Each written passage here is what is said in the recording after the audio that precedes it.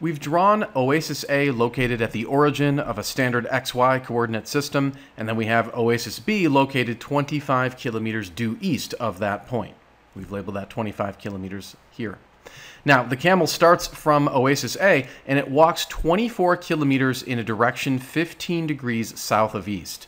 So you can imagine a camel following a straight line trajectory traveling in a southeast direction as indicated by this green vector. And this angle right here is going to be 15 degrees. Then the camel decides to turn and walk 8 kilometers due north. So we have another vector right here showing the camel traveling due north and that distance will be 8 kilometers. We have labeled that vector or that trajectory V2. And then what we can see is the camel ends up right here. So this little point is going to be the final position of the camel. But we need to figure out how far that camel would have to walk in order to reach point B. Now we've labeled that distance with a third vector, and we're calling that V3. Now, here's the key insight.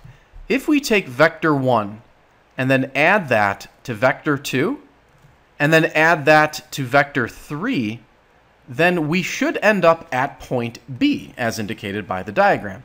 Now, point B itself can be indicated by a vector. So, for example, if you started at the origin, which is where Oasis A is, and you drew a vector from that point all the way to point B, that vector right there would bring you to point B. So, in other words, what we're saying is the sum of v1, v2, and v3 would equal that purple vector that we had just drawn.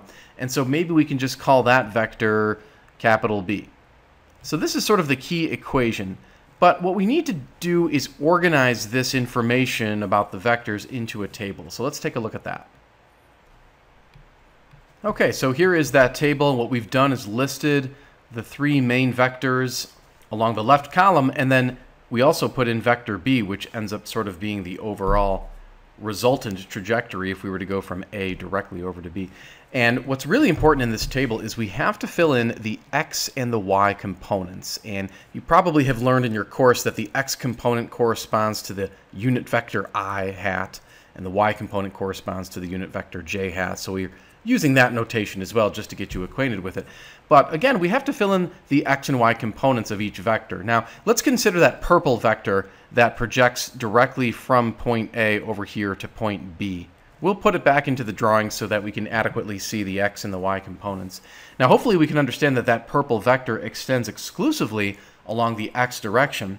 And therefore, because it's extending exclusively along the x direction, the y component of that vector would actually simply be 0. And then the x component of that vector would be that 25 kilometers because that was the distance between points A and B given in the question. So we can fill those in pretty easily. The next easiest vector to ascertain is vector 2. Now remember, vector 2 was the one that was projecting straight up in the northward direction. And because it's going straight up, then there, the x component of that vector would, would be entirely 0. So there is no x component for vector 2. And in fact, all of its trajectory is in the y component. It was that 8 kilometers that was going in the northerly direction. So we would fill in positive 8 for the y component of that vector. Now on to vector 2, which is the trickiest one. Now you probably have learned that when vectors are at angles, you're going to have to use the cosine and the sine in order to get the x and the y components. And that's very true. Just take note, and this is very important, whenever you're using the cosine and the sine, what you really want to do is measure your angles from the positive x-axis. So for example, we can see that vector 1, v1, is pointing in the southeast direction like this. Now, when you learn to measure angles in a pre-calculus course, you probably learned that when you measure an angle in a clockwise fashion, then that angle is actually negative. So it's important to understand that this 15 degree angle is actually negative 15 degrees. So therefore, using that angle, we can find the x and y components. So for the x component, you simply take the length of that vector, and remember the length of that vector was 24 kilometers, and you multiply that 24 kilometers by the cosine of that angle, which again is negative 15. And then for the y component, you take the length of the vector and multiply it by the sine of the angle. So that's why it's really important to measure angles relative to this yellow highlighted positive x-axis. You want to make sure you measure angles in that manner. And furthermore, if they go clockwise, then they have to be negative. So pick up your calculator, do 24 cosine of negative 15, and you'll get about 23.2. And then also do 24 times the sine of negative 15, and you'll get negative 6.2, approximately.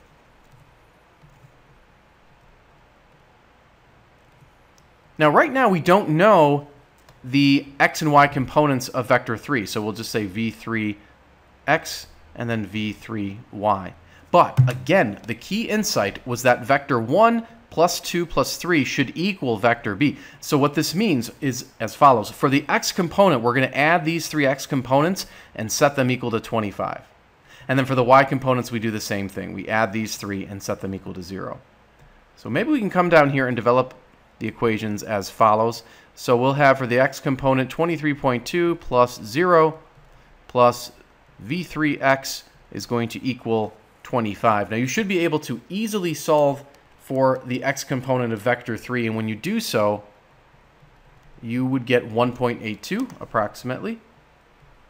And now we'll do a similar exercise for the y components. We'll take the negative 6.2, add 8, add the y component of vector 3, and then set this equal to 0.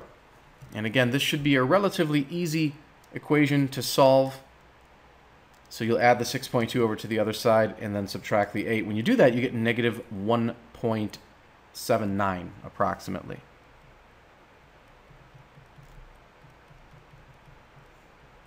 So those are the x and the y components right here and here of that vector that we labeled v3 in the diagram. So that's this vector right here. Now, we don't want the individual x and y components of that vector. We want the actual length of that vector. But that's pretty easy now that we have the x and y components. Consider one final drawing here. What we can do is just draw an arbitrary x and y axis. Now, the x component of vector 3 is positive 1.82, so it would project along the positive x axis. 1.82 meters. The y component is negative 1.79, so it would project along the negative y-axis. And what we're looking for is this length right here. This is basically the resultant of vector 3. We can see from the Pythagorean theorem here that vector 3 squared would equal the x component squared, we'll omit the units for clarity, plus the y component squared.